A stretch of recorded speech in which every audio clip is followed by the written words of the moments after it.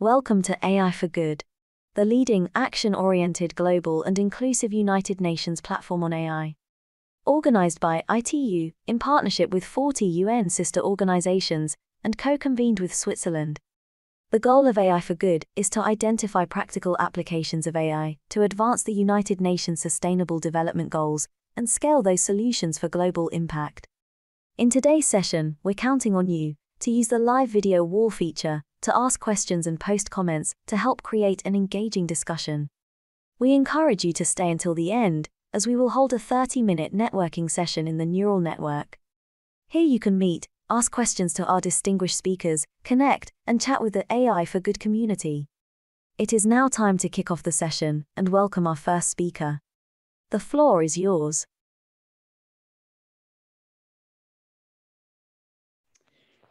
Well, thank you, everyone. Um, my name is Barbara Ryan, and I'm Executive Director of the World Geospatial Industry Council, and I'm just delighted to be here today. Uh, thank you for your participation. I'd also like to thank uh, our hosts, ITU, Andrea Manara, uh, Reinhard Scholl, and their entire team.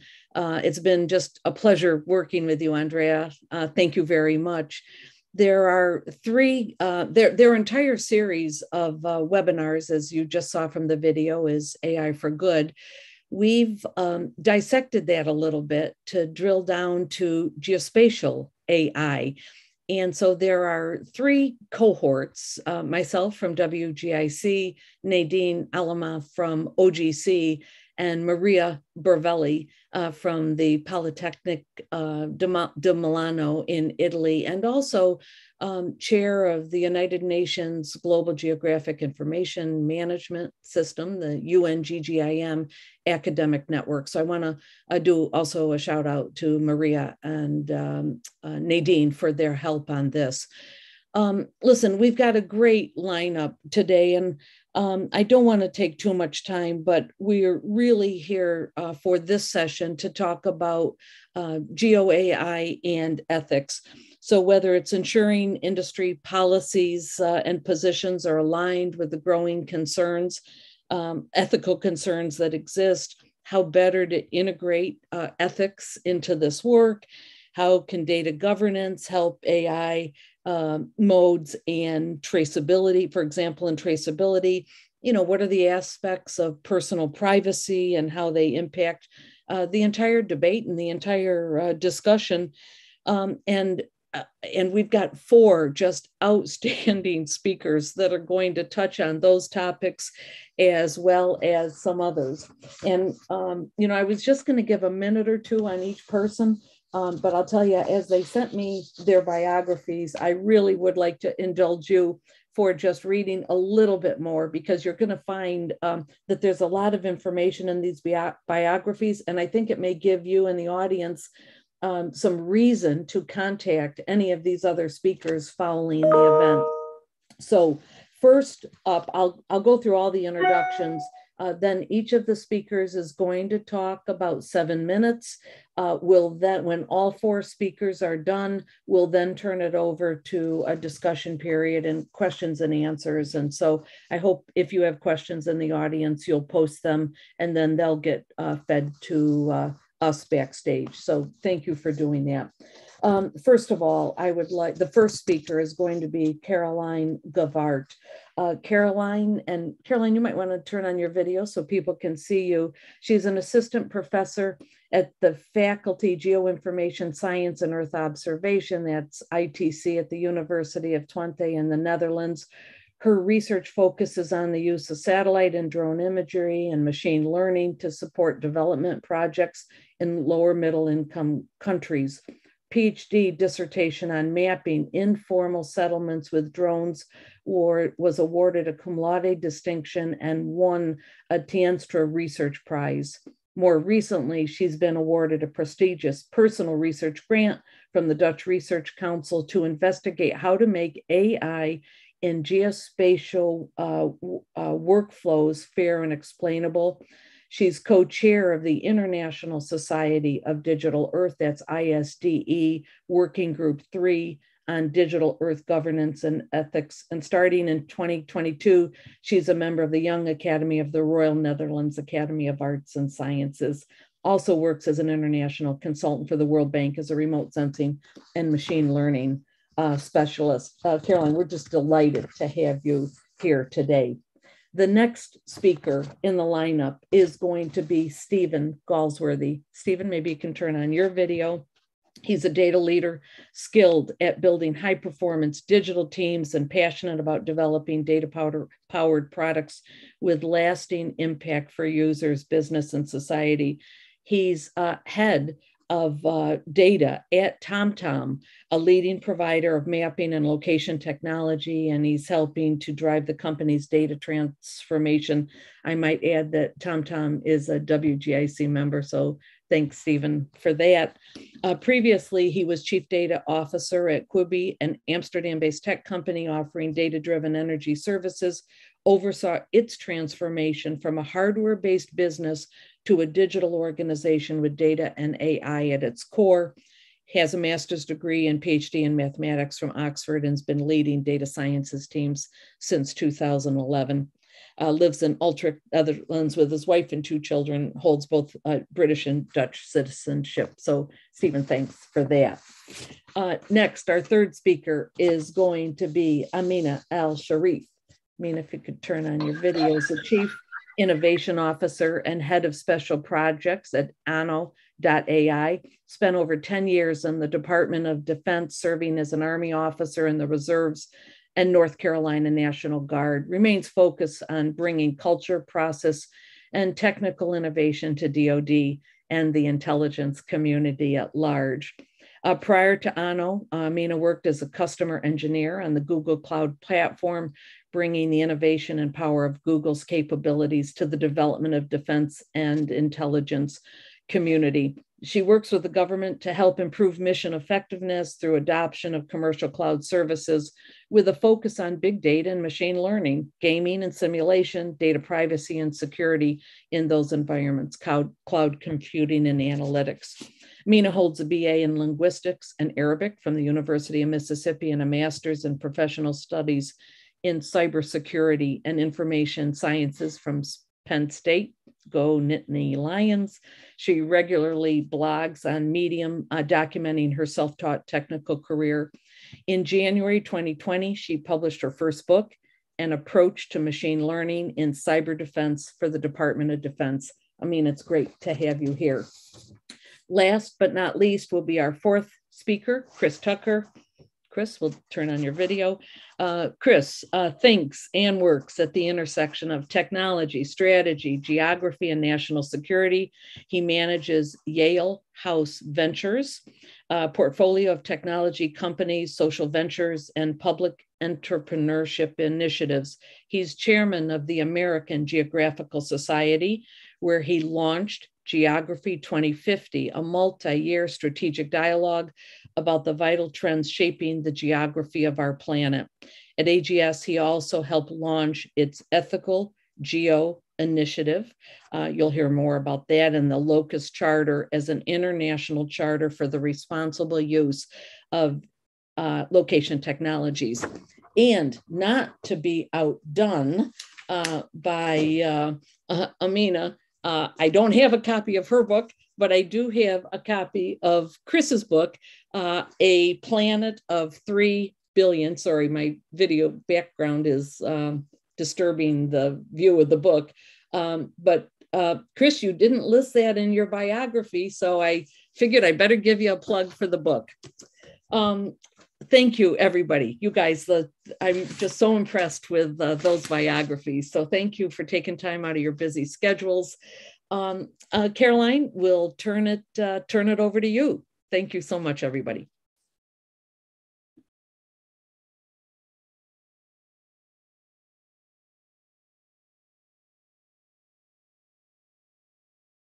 Thank you very much, Barbara, uh, for the introduction. Um, if everything is well, then you should be able to see my slides now and hear me correctly. Um, so my background is as a geospatial scientist. I also work with a lot of projects trying to impl um, implement geospatial um, solutions to support disaster risk management and other development objectives. And what I would like to start talking about and open this session with is about the implementation challenges that we are facing. So there's a lot of attention about AI ethics, and in the field of geospatial, it is no different. Um, so I will give some examples of how it is difficult to change what as we move from guidelines to implementation, some of the challenges that we are facing. So I will give um, a tech, uh, use bias as an example of technical implementation difficulties. And also I would like to talk a bit about the uh, importance of local context and inclusivity. So as a first example, um, the UNESCO recommendation on ethics for artificial intelligence says that AI actors should minimize all reasonable efforts, uh, um, or they should make all reasonable efforts to minimize and avoid reinforcing or perpetuating discriminatory, uh, discriminatory or biased applications. So there's a lot of attention in the media um, about possible bias for gender, ethnicity, or age um, in different AI applications. But what about geospatial applications? Let me give you an example. Here we see um, aerial imagery of a, a city in Africa. And on the left and right, we see building outlines that were digitized by community. So with some community members, they looked at the images and they delimited where the buildings were. And on the right, you see the results of an AI algorithm that automatically predicted where the buildings are. And so the, uh, this is really important for a context of disaster risk management because, for example, sometimes a disaster occurs in a city for which the base data is not, not yet available. So then we need to have data for, for example, buildings to estimate where people are. And um, essentially, it's just a, a polygon. That's the only information we have. We don't have any attribute information about what's actually under the building. But as we can see here, one of the big differences between the AI algorithm and the community based building outlines is that the AI algorithm is actually missing a lot of buildings in the central part of the image. And these buildings are smaller and closer together and are very typical for informal areas or slums. So, what this essentially means is if you compare the two different data sources, that the AI algorithm might actually be biased against the areas that are more informal and uh, perhaps more uh, poorer than the other areas of the city.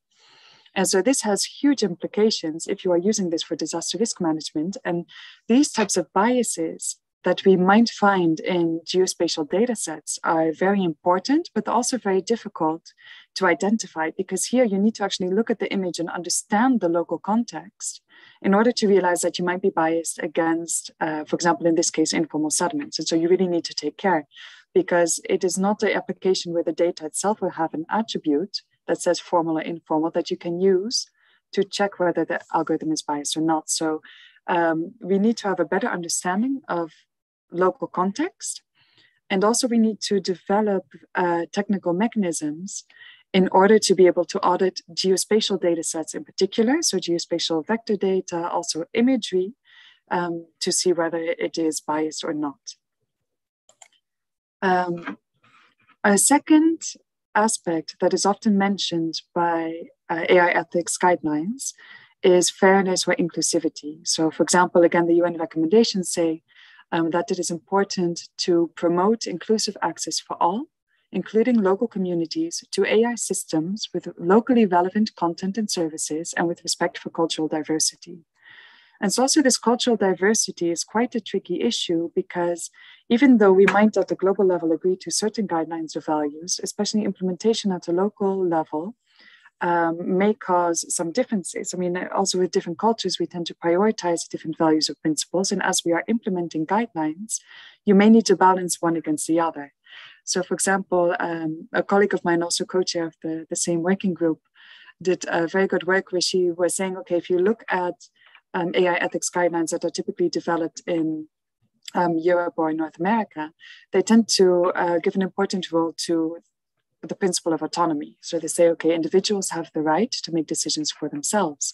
And yet, if you look at many cultures across Africa, uh, they may promote more a community value. And so this tension between community and individual will also cause differences when you try to um, implement guidelines at a local level. Um, in some of the work also that we did during my PhD, we were looking at um, the issue of privacy or the concept of privacy in different areas. So a very typical um, example of geospatial data is aerial imagery. And then if you look at drone imagery, you can see very detailed information in the image. And then if you are talking about protecting the privacy of the people living in a certain area before we share an image, it's also important to understand, okay, well, according to that culture, what is considered to be private or not.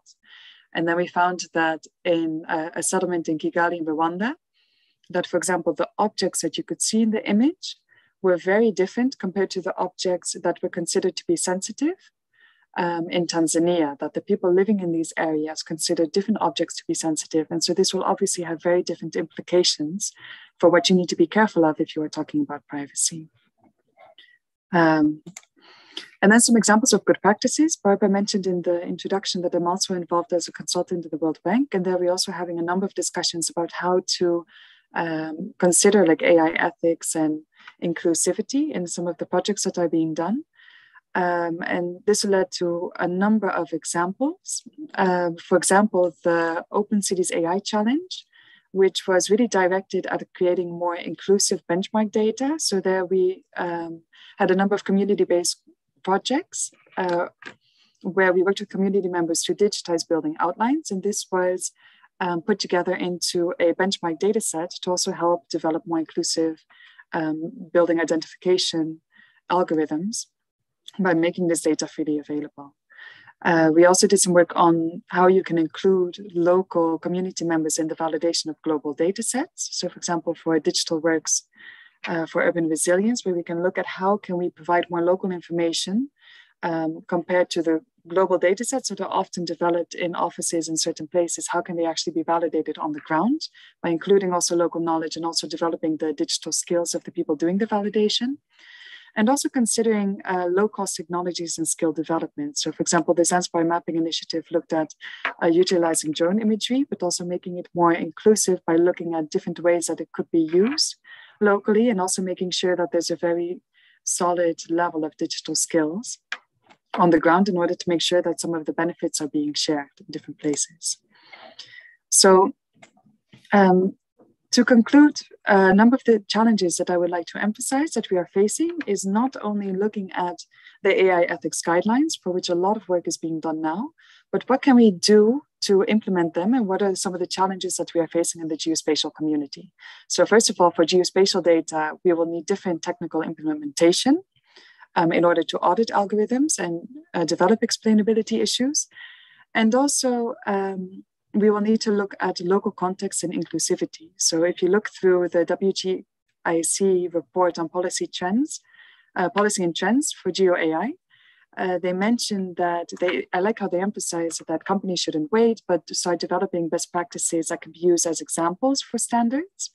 But also in this context, we should pay attention that where a lot of the global geospatial companies are based and also where the applications are sometimes uh, in different areas. So also in this context, it's very important to um, take into consideration the local context and inclusivity. So um, those are my points to uh, start this discussion, and I very much look forward to discussing them more with you later on. Thank you. Caroline, thank you so much. That was a, a, really nice job of setting the context for the rest of the talk, and I appreciate you bringing uh, your last slide on some challenges. Um, Stephen, um, you're next. So we'll go ahead. Stephen Galsworthy, TomTom, Head of Data. Thanks, Stephen. Hey, good afternoon, everyone. Um, yeah, so my name's Stephen Galsworthy. Um, I'm Head of Data at uh, TomTom. Um, so, so TomTom, uh, we see ourselves as the leading independent location technology specialist.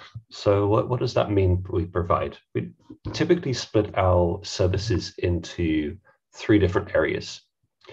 So we are providing uh, highly accurate maps um, that we uh, create our typically create ourselves, both from what we call SD maps, which are standard definition, which is the kind of maps that you would that a human can read, all the way into uh, HD maps, which is essentially a machine readable map that can be used for things such as autonomous driving. We create a navigation software. Uh, this is uh, typically uh, available as a, a, consumer product embedded within a, a an automobile or, or, a truck, or um, we provide our, our, services to, to what we call enterprise customers, so, so large um, mobility providers worldwide. And a third big area for us is a real-time uh, traffic uh, and services. So TomTom's a, a tech company, uh, and really at the heart of it is, is data. Uh, data drives what we're doing with the business. To give you a little bit of a, a flavor there, I mean, we're collecting from the services we offer around about 61 billion GPS data points per day globally. That equates to around about three and a half billion kilometers uh, of roads that are traveled on a, on a daily basis. But in this space, uh, really for us, data privacy comes first. And data privacy is, is not it's not optional for us. Data privacy is even a, a strategic differentiator for, for TomTom within the, the mapping and navigation space. Um, and we see that, that that's really something that's the, at the heart of everything that we're, we're doing. So what I wanted to do today is to give a little bit of a flavor of, of diving into uh, diving into a use case and seeing how that relates to to ethics and what I what I typically call the responsible AI. So how can you deploy AI in a way that is that meets all those those ethical and privacy requirements? So, so the the use case um, that we can dive into a little bit more detail is looking into uh, traffic flow. So uh, uh across TomTom, there's many areas where we either uh, deploy AI services or have the potential of deploying uh, AI services. Uh, traffic flow is a very interesting proposition. So traffic is essentially you can you can imagine when you're driving to a, a location, what you want to, to do is to have a, an accurate idea of uh, how long it's going to take you to get there, what time you will uh, arrive at your, your end destination. For, for an individual driver, this is um, uh, incredibly important if you need to be at a location at a certain time.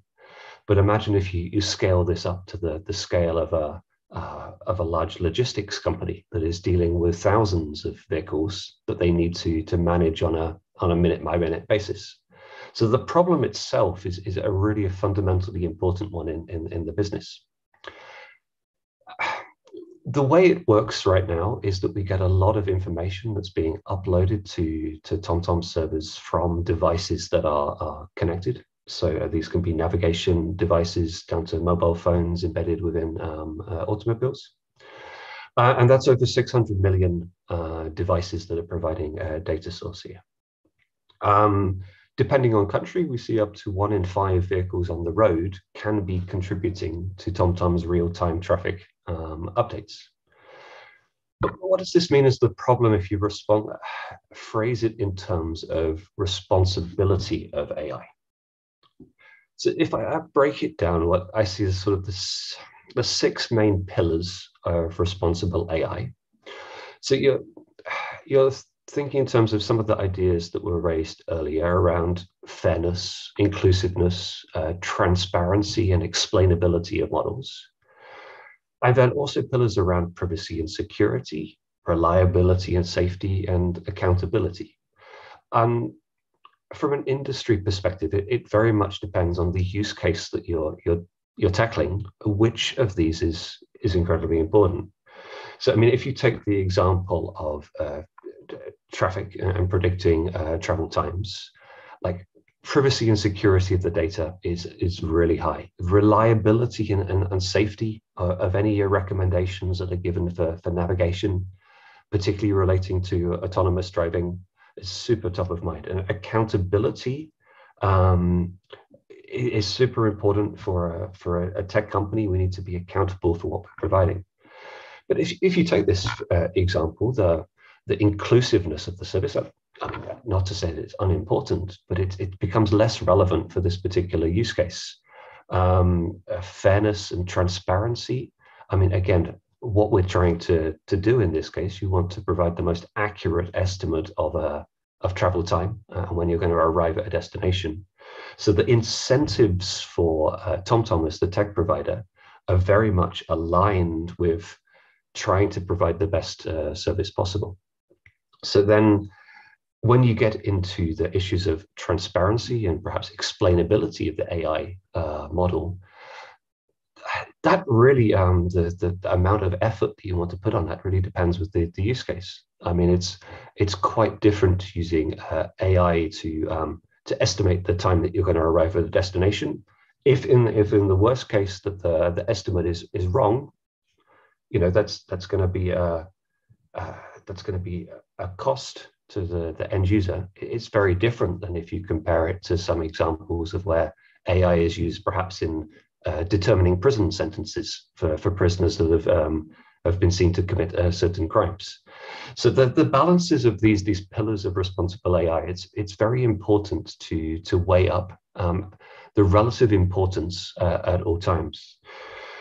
So I was asked to give a little bit of advice. What, what does this mean for uh, developers who are actually building services uh, like this? So when you're uh, trying to solve a, a, problem, trying to solve a use case, you should really be looking at the challenge you're solving. Make sure that you're you're you're assessing it in relation to these pillars of responsible AI, but making sure that the trade-offs that you make are the right ones to ensure that you reach the, the right quality of service for the uh, for, for your for your end users. But you've also got to keep top of mind, like particularly privacy of some of this data. You know, that's that's that's super important to do, um, and that's where we have a lot of uh, custom processes um, at TomTom to make sure that we're depersonalizing that data at the earliest possible opportunity. So I, I hope today you enjoyed hearing a little bit about um, how ethics and AI are seen a little bit from the the industrial point of view. Um, looking forward to discussing further with you later.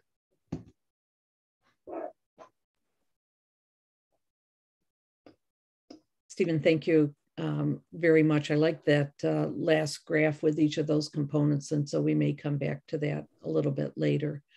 Um, all right, next, Amina Al Sherif, you've got the floor.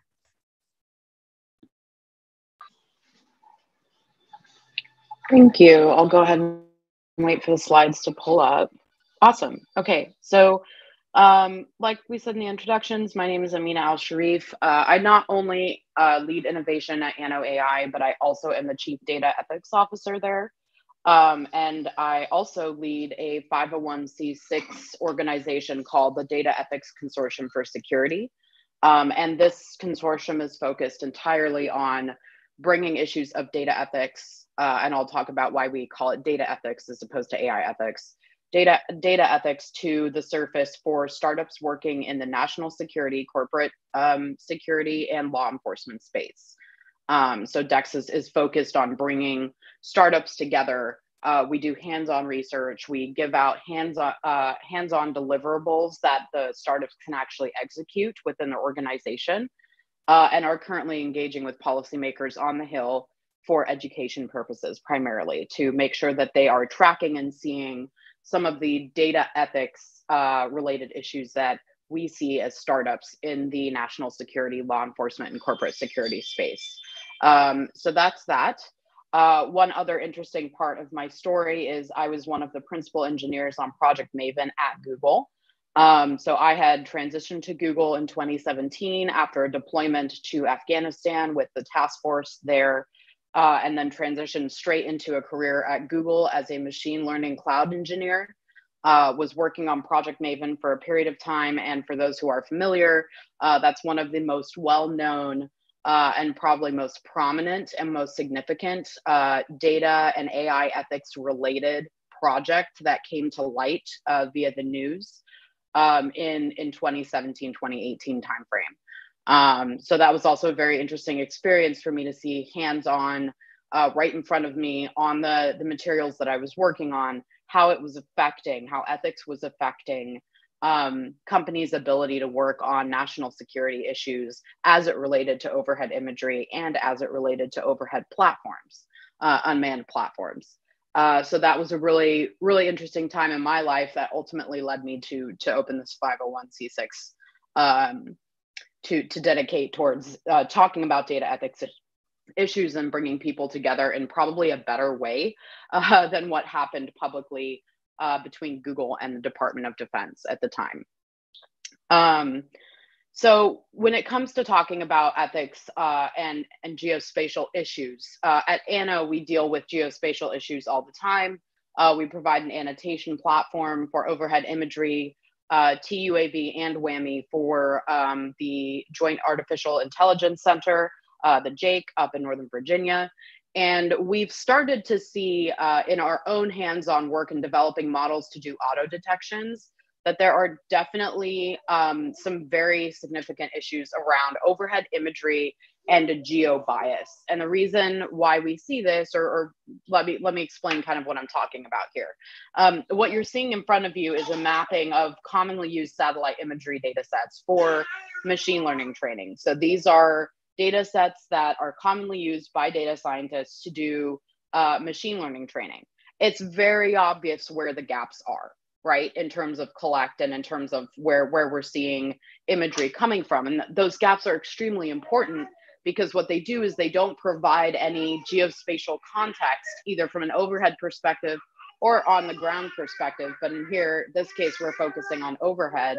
Uh, it really does provide a, a perspective on just where the gaps are uh, and where we're we're possibly missing more um, data around some of those those areas of the world. So those areas of the world uh, continue to have no machine learning models that have been trained um, to accommodate for those areas of the world. One of those areas of the world is where I come from, Egypt. so uh, the Northern African region and the Sahara region, uh, very prominent uh, desert region um, not not very much data coming from that area of the world. So this this map represents a big gap in collection geographically.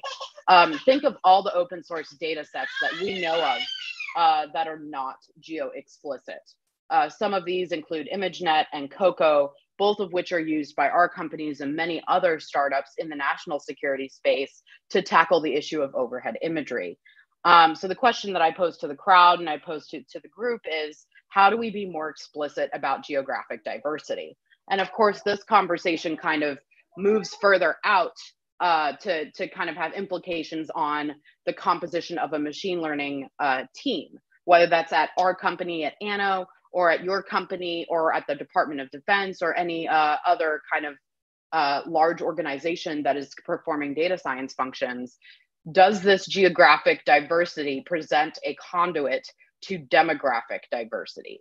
Uh, and this is not only demographic diversity in machine learning training data sets, but this also has uh, you know, larger implications and has a larger comment on the larger issue of having geographically and de demographically diverse uh, machine learning teams in order to ensure model development processes are of good quality. One small example before I move to the next slide is um, I am, since I come from Egypt and was raised in the Western Desert, uh, very versed in the area of desert overhead imagery. Um, I, I, know the desert inside and out. But if you were to put uh, overhead imagery in front of me uh, that represented a forest region or a region with a ton of trees or vegetation, um, I might not be as strong in my labeling and model development skills there. But because I've worked the Middle East problem set for now 11 going on 12 years, uh, I have a lot of exposure to what uh, satellite imagery looks like in an arid environment. Uh, next slide. So this slide is very complicated and convoluted, uh, but there's only one part of the slide that I'd like you to focus on. And it's not really very well represented uh, in the actual uh, diagram itself in terms of how we do it, but I'll explain how we do it. So Anno AI, uh, with myself as the inventor, uh, did file a provisional patent uh, just a couple weeks ago on what we're calling a compliance as code system diagram. This is not the typical compliance as code uh, that, that everyone might be thinking of, where it's like a data governance, but automated.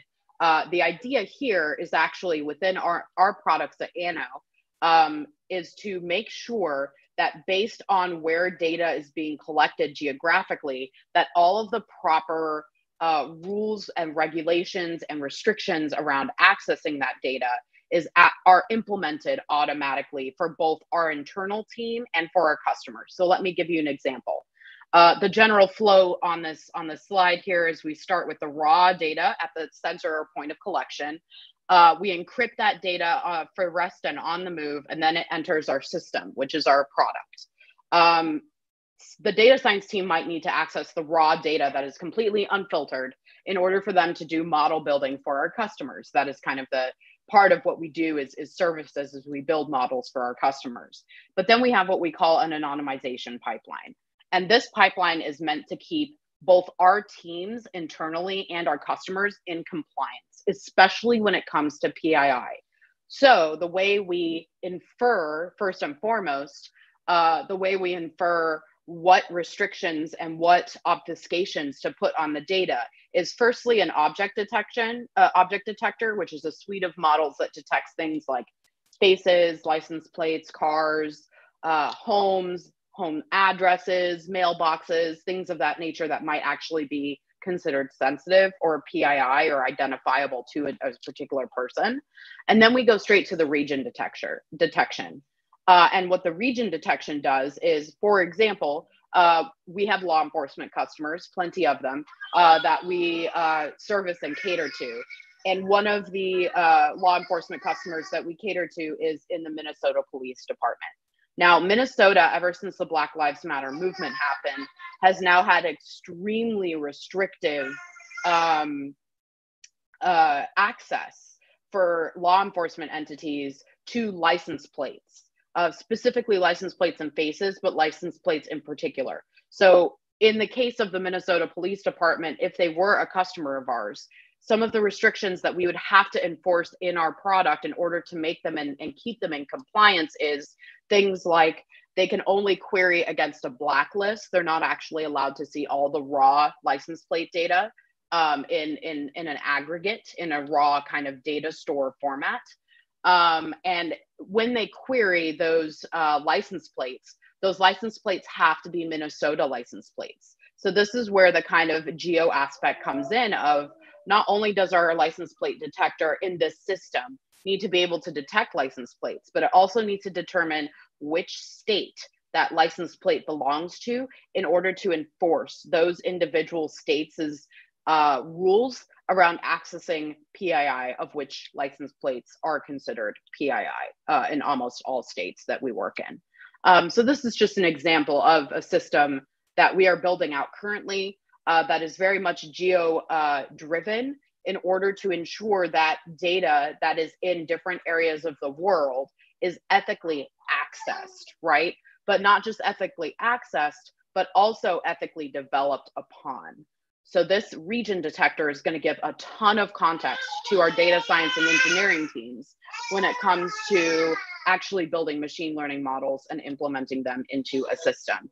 And then it also has huge implications on our customers in terms of we are helping keeping them in compliance by essentially taking all of the regional, every potential regional legal uh, stipulation around accessing data uh, whether it's PII or other types of data, and enforcing that automatically in the tools uh, that we build and the products that we build. Uh, so that's all I've got for today. Uh, back over to you for uh, our next speaker.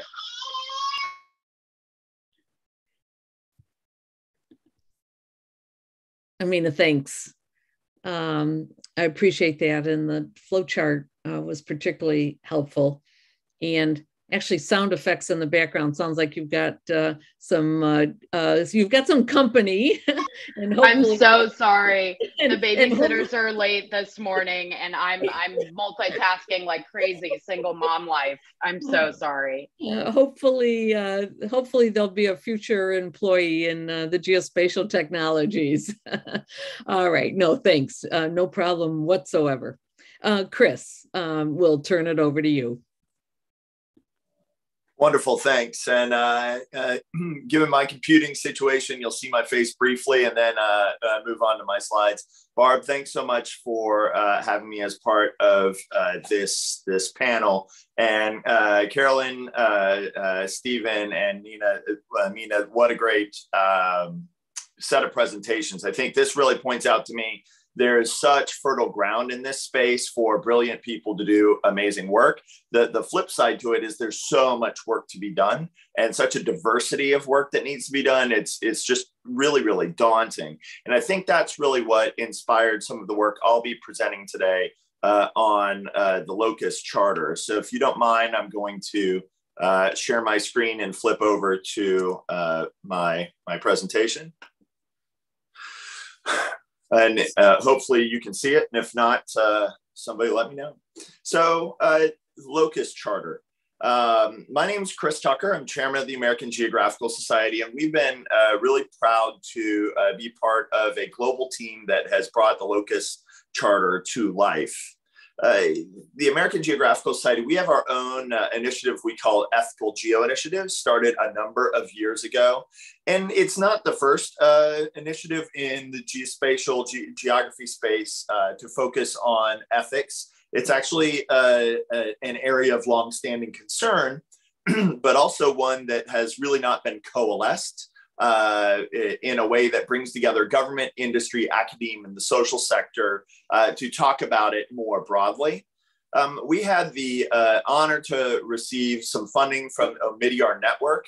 Uh, if you're not uh, familiar with Pierre Omidyar's philanthropy, um, they have had a long history in actually funding uh, uh, ethical AI initiatives, and they were focused really on. They had been doing work around, I'd call it geo for good in the property rights space, and they were wondering, you know, why hasn't there been focus on uh, ethical geo in the same way as ethical AI? So we had an opportunity to launch that initiative with them at the same time that they funded the Benchmark Initiative in England, in, in the UK, uh, uh, through Geovation uh, in London.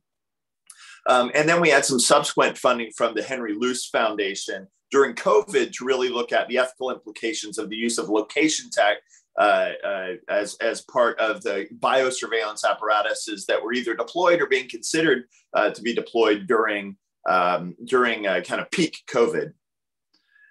So, you know, when we were when we got started as AGS on ethical geo, we were focused on all sorts of things. A lot of times people talk about privacy, um, and that's certainly very important. People talk about kind of the bias in the geo AI space, and that's very important. Um, but these things also kind of uh, apply to what we call the five Ps. Uh, not only privacy, but it, it, inserting kind of distorted incentives into political processes um, uh, as it deals with people kind of undermining uh, or bias uh, against vulnerable populations uh, in, in, in our societies, um, skewing how we understand our planet and our ability to support our planet. And then back to property, um, actually, I think uh, in Caroline's example of informal settlements, there's so much bias built into how geospatial, even without AI, how uh, geospatial has empowered some of the uh, wealthier and more organized uh, to the disadvantage of uh, vulnerable populations. Um, and in the Geo for Good movement, if you will, um, luckily we've had a lot of empowerment through Geo that has allowed um, vulnerable populations to try to uh, encode their property. So you can understand kind of this complex landscape here uh, that caused us to look at uh, look at ourselves and realize there was no international charter for the responsible use of geospatial tech whether you're just talking about regular GIS or remote sensing, or these more advanced geo AI uh, uh, capabilities that are seem to be rolling out every single day across the private sector, the public sector, and in uh, academic and nonprofit worlds. So we dreamed of a world where location data is utilized for the betterment of world uh, uh, and all species that live in it. And we wanted to build an international collaboration of governments, organizations, and individual practitioners seeking to ensure the ethical and responsible use of location data throughout the world. And to do that, we needed to kind of coalesce our thinking, coalesce uh, our understanding of the space into some uh, guidelines, some principles. So we started uh, a small team, again, kind of the Ethical Geo and the Benchmark Initiative team, by reaching out to our the global community through organizations like this, through the Open Geospatial Consortium, through so many different uh, part of part of the traditional uh, international geospatial fabric, if you will. And we convened a number of facilitated groups across Latin America, Africa, East Asia, uh, Australia, uh, Pacific, UK, Europe, and in North America, recognizing that there's many different values at play. There's many different kind, uh, kind of cultural contexts that need to be appreciated. Uh, uh, the legal frameworks are at different points of evolution in different countries and different regions around the world. And even uh, the point in development, economic development around the world means there's different kinds of technologies in play and, and how uh, uh, communities weigh kind of the costs and benefits of new technologies will differ depending on where, where they're coming from. So, you know, what we kind of were grappling with was this datafication uh, process that's going on around the world, where increasingly, you know, we're not just living in a physical world where we interface face to face, but we've datafied our planet uh, where we're expressing and managing this complex world that we live in with data. And you know, since that's a made-up word, I decided to make up another one where I call it the locationization. And it's not what we found was there's actually kind of a gap between the traditional data community um, uh, and how they think about it, and then how we think about it when that data at its heart is about X, Y, Z's, and T's. Um, so, you know, as increasingly, uh, uh, you know, we have GPS embedded in every device that's doing sensed observations of our world. And, you know, we've kind of commodified how we uh, uh, uh understand the world geospatially. This locationization, if you will, is bringing those X, Y, Z's, and T's to the middle of kind of our standard data ethics discussions around bias, intrusions on privacy, market power relations, data colonialism. Um, you know, there's there's so much complexity uh, to this that we realized we needed to uh, build a a charter. So I'm not going to go into each of these. Uh, I really just do this to tease you. Uh, to come to the website. If you just Google Locus Charter, it will come up and, and you can uh, browse these to your heart's content.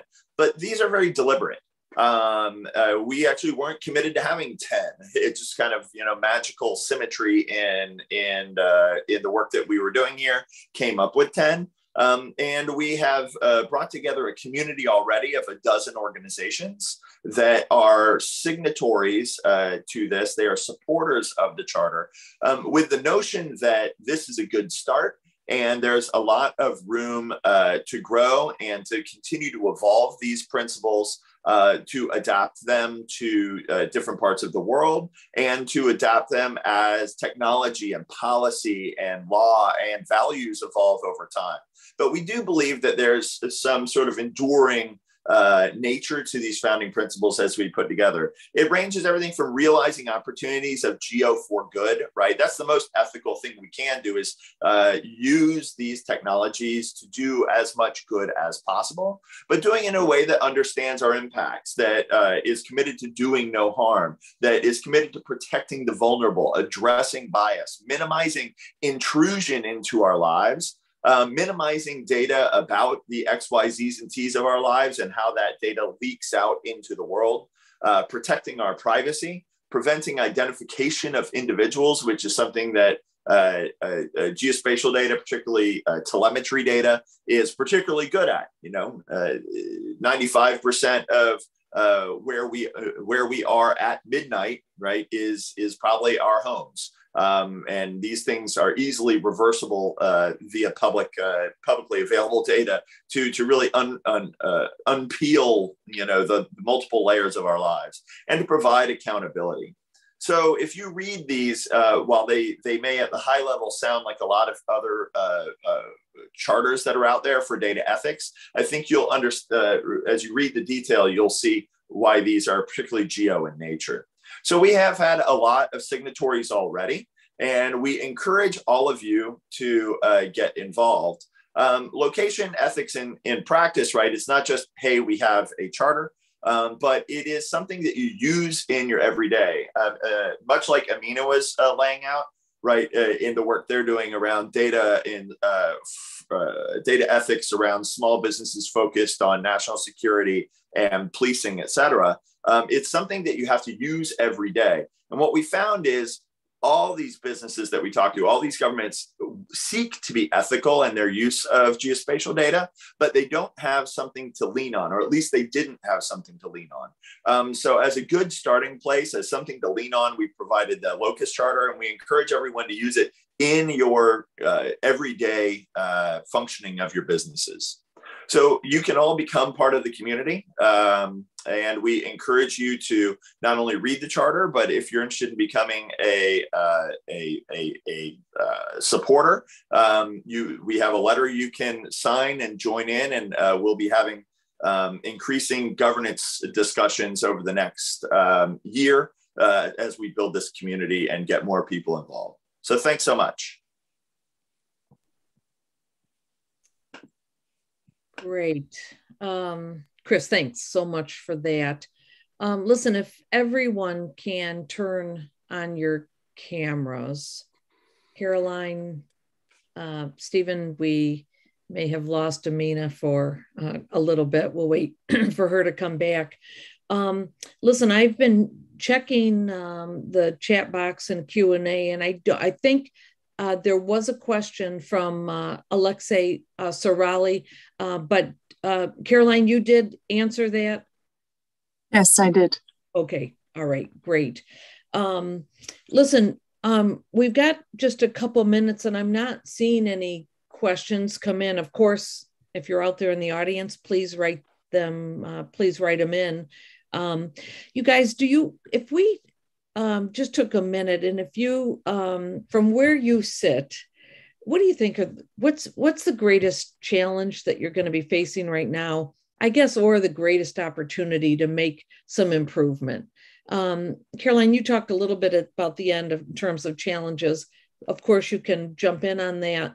And then um, Stephen and Chris, if you guys also, and Amina's back, um, just greatest greatest challenge and or greatest opportunity i guess it's you know how, how you kind of look at these problems for for what's kind of facing this entire field.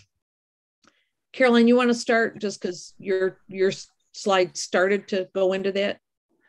Yeah i think um, for me it's really just how do we do it? I think we are agreeing on, on the principles that we want to do. Everybody here wants to do a better job. You know the industry is interested academia policymakers um, nobody wants to be unintentionally biased or uninclusive, but the question is, how do we do it? So, indeed, the programmer sitting there, how can they know? Um, like like Stephen mentioned, okay, you know, you need to think of what the end users want, but that's also not always easy. Or how can you check? What about explainability? How can you explain the algorithms? And and this is partly um, talking with different people and being more inclusive. Um, that the technician is uh, should also be talking with the end users, but it's also simply of identifying ways of doing it. It's like, okay, how can we really audit the algorithms? How can external parties audit the algorithms? So it, it's really just a way of finding good practices of actually getting things done. I think at, I think at this stage, that's the greatest challenge. All right, thanks, Caroline. Uh, comments from other folks, either on what Caroline just said or uh, your ideas on greatest challenges. Anybody can jump in. Yeah, I mean, I, I agree with that. One of the things we're trying to do around Locus Charter with our supporters is to kind of collect those um, snippets, those use cases of where, you know, inside my organization, uh, because of the nature of the work we do, we're very focused on principle number seven. And here's how we have worked at an engineering level. Here's how we've worked at a policy level in order to bring our customers along or make sure that our technology, you know, um, offering uh, applies to that. And we kind of feel like that there's so much richness to this, to these you know uh, to the the struggles that we have but also the principles that we're trying to adhere to that we want to build that library of experience um, because you know sometimes our organizations they're so fast moving and so complex that we know we have an issue, but we can't put our finger on it. And it's when we read other people's experiences that we go, ah, you know, now now i can think about how to deal with this inside my organization because i have some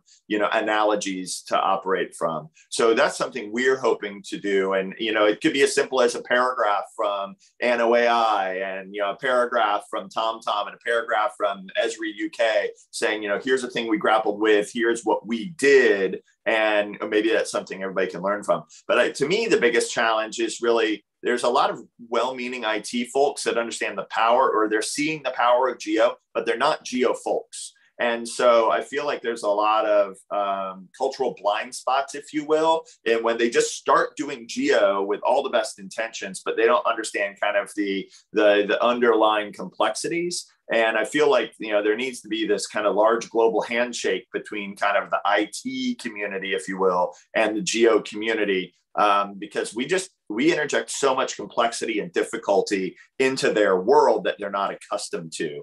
And it's not that we don't have a ton to learn. I feel like in the world of ai we've learned a ton uh, but i think we have a lot to give back. Thanks chris. Um, yeah, th- yeah, thanks for the comments uh, chris. Yeah i mean I, I am a relatively new joiner to the world of uh, geo but have a, a long background in the world of ai and yeah i would say I, I, agree with those comments. You know, that there's a lot that we have to to learn from from each other. I mean, I think there's a lot that we can take from the conversations around AI ethics in general that are can can drive the, the way that we operate, particularly within uh, within businesses. But there is something. There's a special kind of complexity to to geospatial problems, and yeah, that that that's something that we um, we don't want to all be learning individually. So there's, there's a, it's, and it's, it's it's it's balancing off that that massive opportunity to make better products for for hundreds of millions of people across the across the world, but without uh, running into all of those roadblocks individually. So it's um it's it's great to be part of this larger conversation. I mean, real quick on biggest challenge, greatest opportunity. Yeah. So uh, one, just one comment on what what Chris mentioned. Um, it, we at the at Anno actually have the luxury that our chief AI officer is also a geospatial gal. So she's got a geospatial background. I worked at the NGA for a really long time. Her name is Ashley Antonides. Um, so we have that really special sauce that I think Chris just mentioned, where we have the AI expertise uh, with her PhD from Stanford but also 12 to 15 years as a geospatial analyst that was on the floor working on, you know, petting uh, FMV video um, to, to kind of bring all the magic together.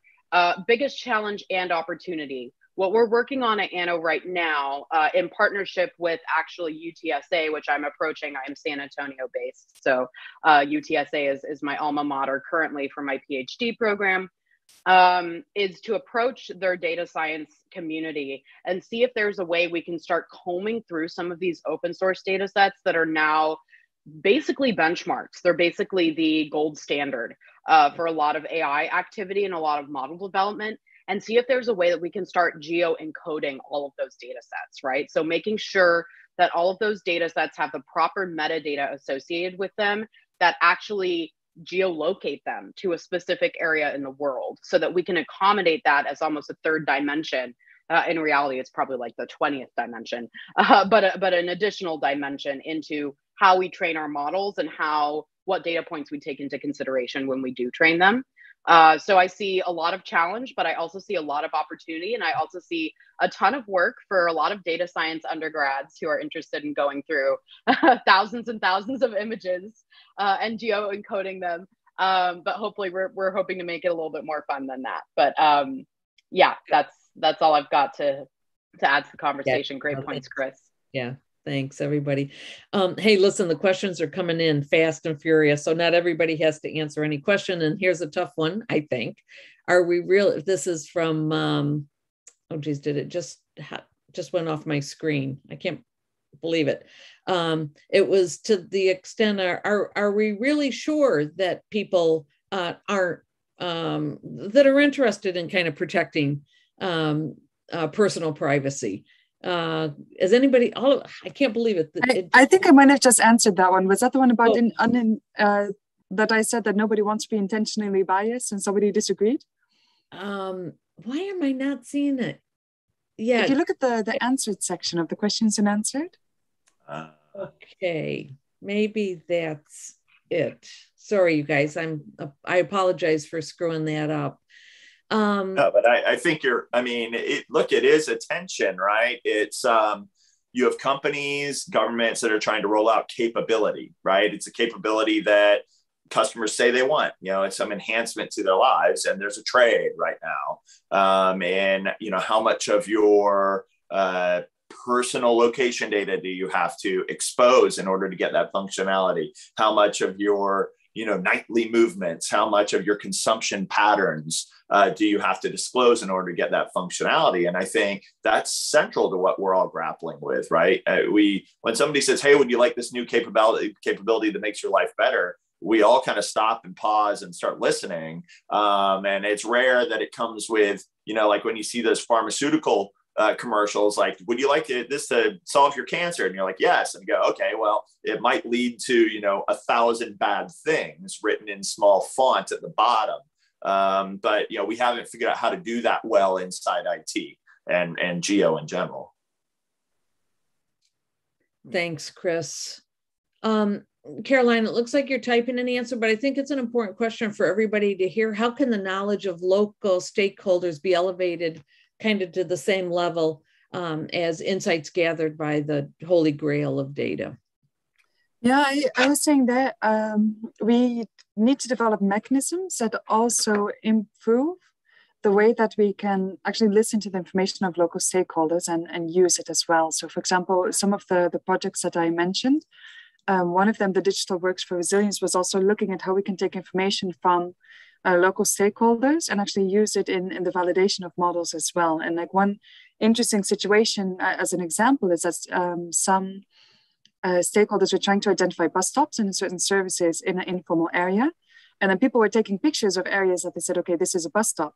But then when it was being checked by somebody from a completely different country and context, they said, okay, it's not a bus stop because I don't see a sign. How is this a bus stop? But it's just because in that area, um, what was a bus stop or not had a very informal, you know, just very informal. So of course you didn't have a sign because none, none of the bus stops have a sign. So it, that also shows really the, the importance of integrating this information and also that um, um, that we need to develop mechanisms that we can also um, bring this information back and forth in a different way. That as we are developing AI models or global models from our offices as a developer, we need to also get better mechanisms in place to share and get validation from local stakeholders.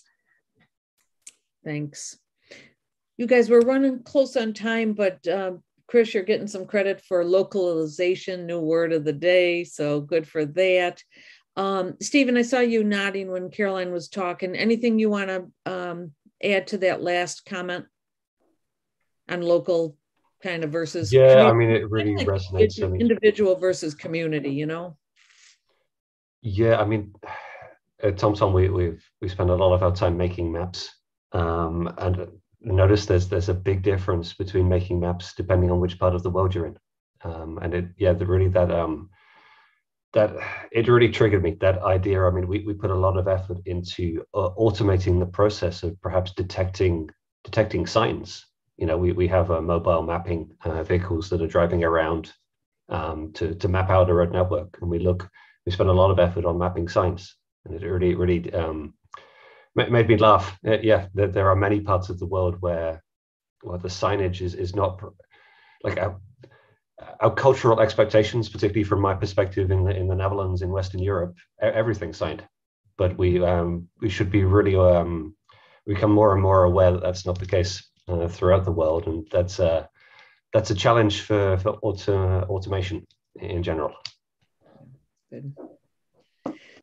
Um, Chris, real quickly, you've got a question about, could you just real quickly expand on number nine of the charter where de-anonymization is achievable through cross-referencing multiple data sources?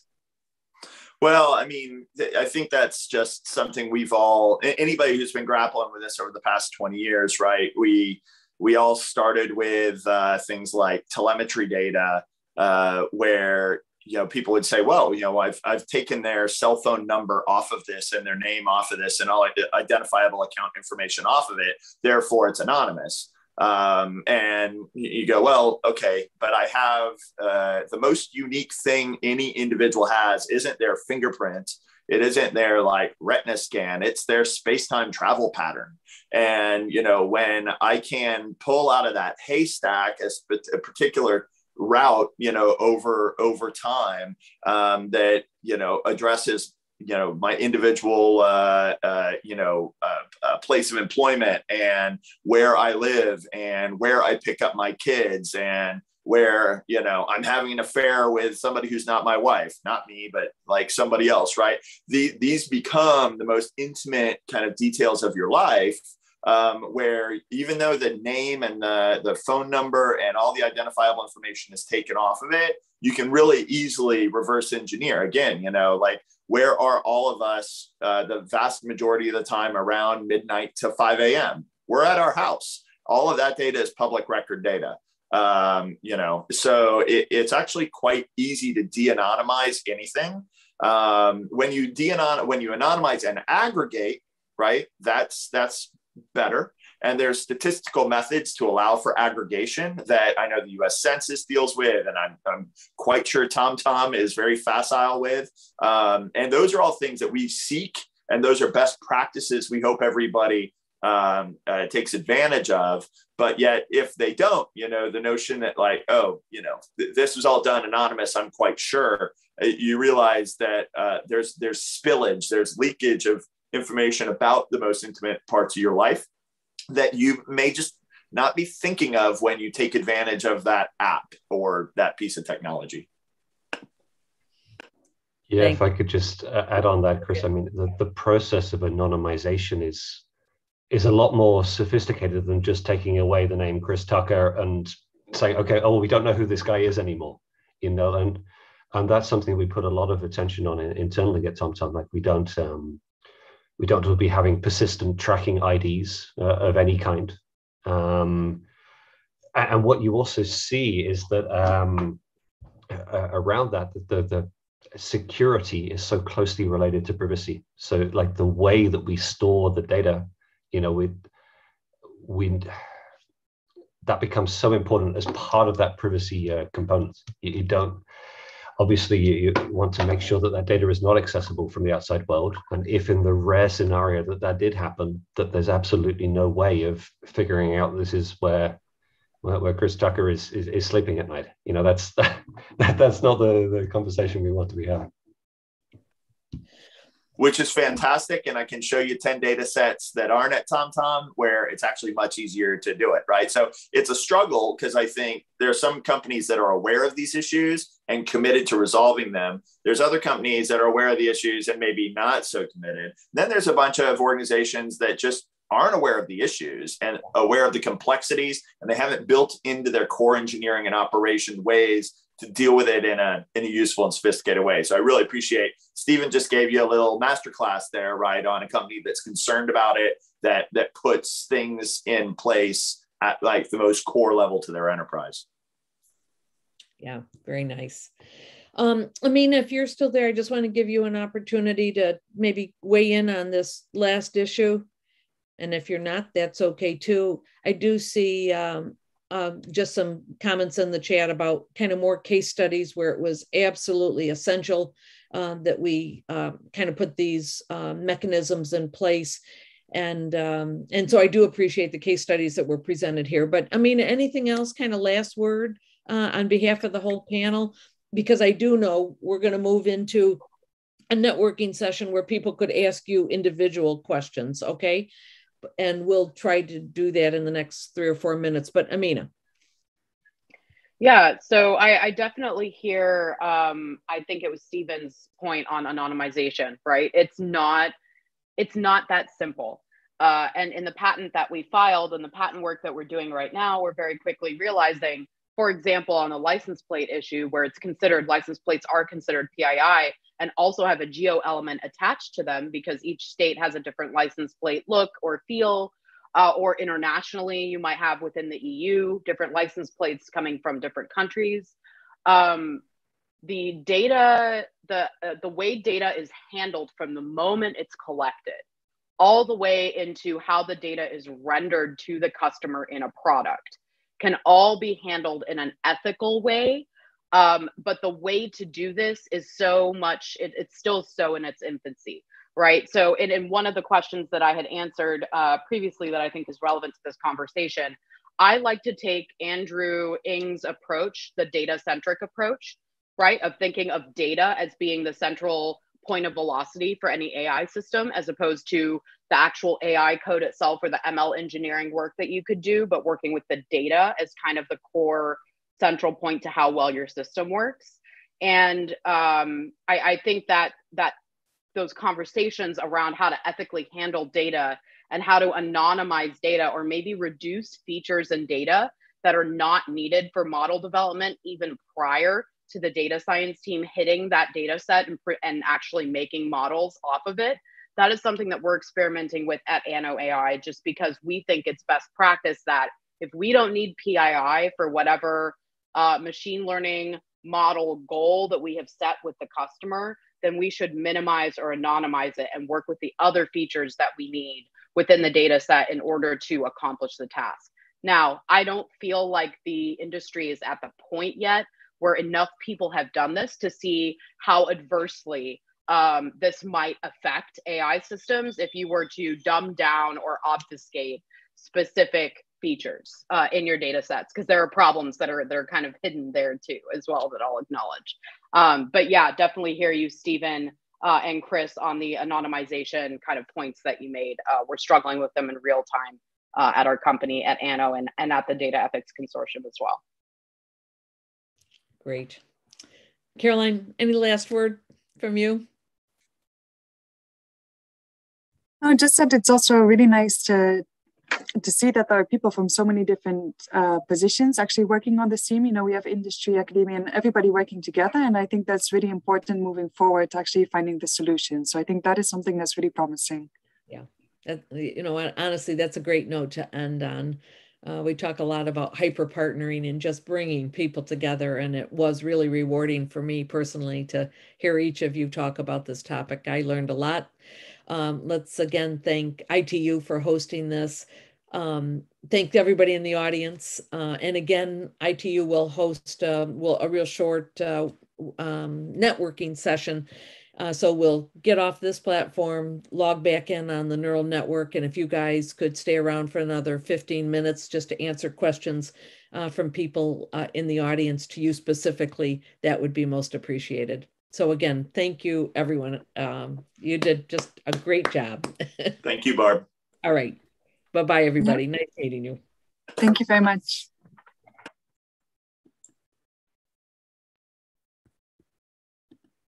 Thank you for participating in today's AI for Good session. We hope you've learned something new, innovative, and engaging in today's event. We now encourage you to continue the conversation on the live video wall in the neural network.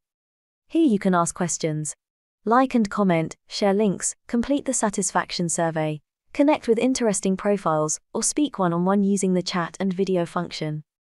After the 30 minute networking session, we invite you to explore the lobby, try the smart matching quiz, visit the virtual exhibits and poster boards, and build your personalized AI for Good program. It was a pleasure learning with you today. See you at the next AI for Good.